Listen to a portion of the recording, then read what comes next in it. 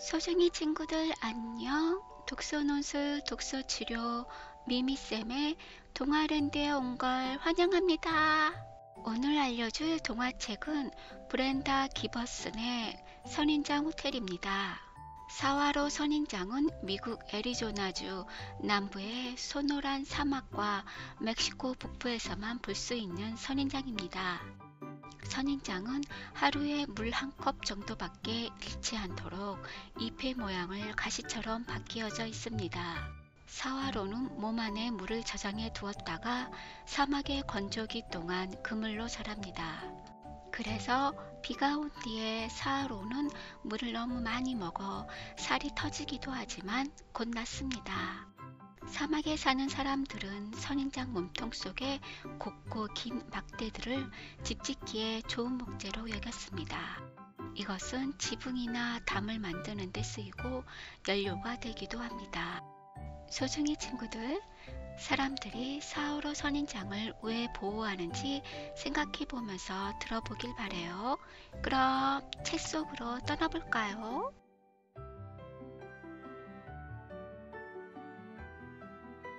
뜨겁고 메마른 사막에서의 어느 날이었어요.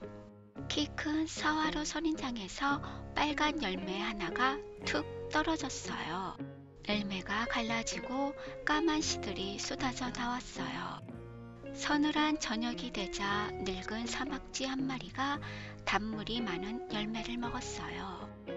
수염에 붙었던 씨 하나가 팔로보드 나무 밑에 떨어졌어요.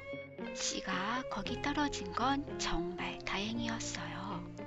전박이 사막 다람쥐의 눈에도 팔로보드 가지 높은 곳에서 지저귀던 방울새의 눈에도 띄지 않았거든요.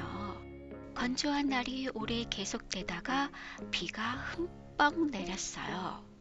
그러자 땅을 뚫고 선인장 싹 하나가 비죽이 고개를 내밀었어요. 어린 싹은 조금씩 자랐어요. 팔로보드 나무가 뜨거운 여름볕과 추운 겨울밤을 지켜주었어요. 10년이 지나자 선인장은 엄마 손한뼘 크기로 자랐어요. 비가 내리고 꽃들이 곱게 피었어요. 선인장은 긴 뿌리로 물을 듬뿍 빨아올려 통통해졌어요. 비가 오지 않을 때는 선인장은 몸속에 모아둔 물로 자랐어요. 그러면 통통했던 몸이 곧 홀쭉해졌어요. 25년이 지났어요. 선인장은 이제 5살 어린이 키만 해요. 큰 토끼 한 마리가 선인장 그늘에 쉬면서 선인장을 갉아먹었어요. 그러다 저마치 늑대가 어슬렁거리자 옆에 구멍으로 들어가 버렸어요. 50년이 지났어요. 선인장은 엄마 키두 배만큼 자라 늙은 팔로보드 나무 옆에 곱고 늠름하게 섰어요. 그리고 태어난 뒤 처음으로 하얗고 노란 꽃을 꼭대기에 피웠어요. 그것도 딱 하룻밤 피었다가 뜨거운 낮이 되면 바로 져버렸지요. 새와 벌, 박쥐들이 꿀을 먹으러 끊임없이 모여들었어요. 꽃이 지고 열매가 달렸어요. 도마뱀 무늬 딱따구리가 열매를 먹으러 왔다가 안전하고 먹이가 많은 선인장에서 살기로 했어요.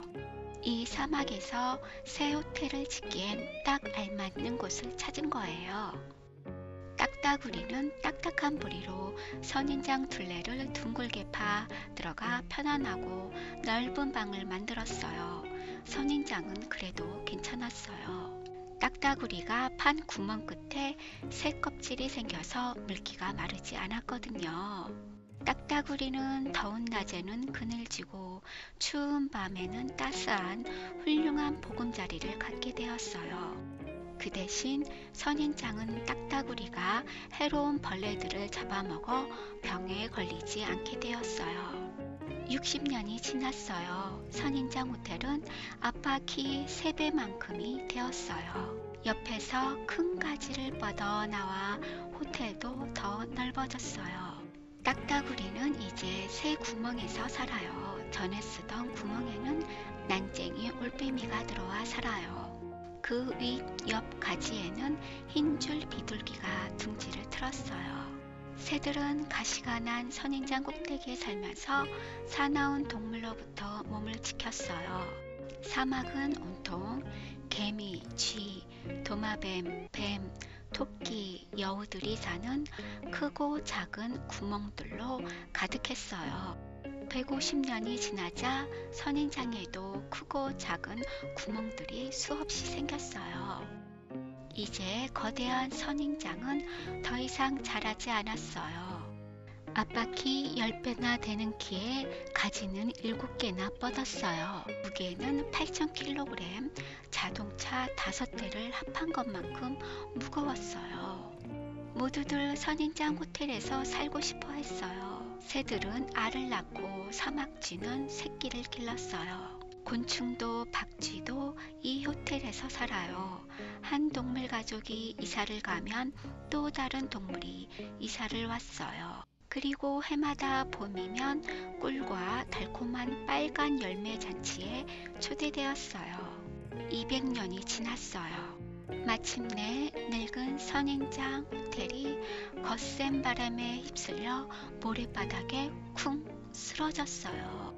가시난 거대한 가지들도 힘없이 부서졌어요. 선인장 호텔 안 높은 곳에서 살던 동물들은 다른 보금자리를 찾아 떠났어요. 그러나 곧 낮은 곳에 사는 동물들이 이사 왔어요. 진해, 정갈, 개미, 흰개미들이 쓰러진 호텔의 새 손님이었어요. 여러 달이 더 지났어요. 이제 선인장 호텔을 지탱해주던 줄기의 뼈대만 앙상하게 남았어요. 알록 도마뱀이 벌레를 찾아 선인장 위로 줄다름을 쳤어요. 땅뱀도 그늘 밑에 또아리를 틀었어요. 그리고 주위에는 조금씩 자라는 선인장 숲이 생겼어요. 이 가운데 몇은 뜨겁고 춥고 비 오고 메마른 날들을 견뎌내고 선인장 호텔이 될 만큼 크게 자라나겠지요. 소중히 친구들, 공생이란 서로 도우며 함께 살아가는 삶을 말해요. 예를 들어 악어와 악어새, 충, 매화와 곤충 등이 있어요. 선생님이 알려주었던 선인장 호텔에서는 이렇게 공생하며 살고 있는 게 무엇들이 있었나요? 선인장 호텔의 주인공인 사화로는 건조함, 추위, 홍수, 화재, 씨앗을 먹어치우는 쥐 등 온갖 어려움을 견뎌내고 살아남았어요. 사막에 이 사화로 선인장이 없다면 어떻게 될 것 같은가요? 오늘도 재미있게 들었나요? 구독, 좋아요, 알림 설정은 다음 책을 할 힘이 됩니다. 다음에 더 좋은 동화책으로 또 만나요. 안녕.